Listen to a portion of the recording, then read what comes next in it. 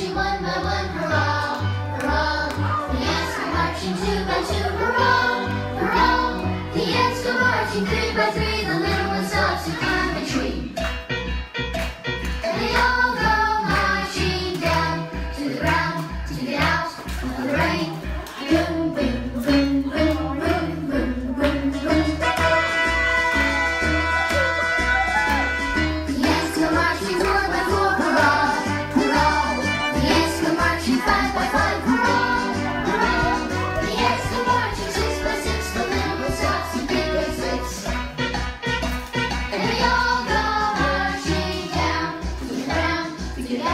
Oh,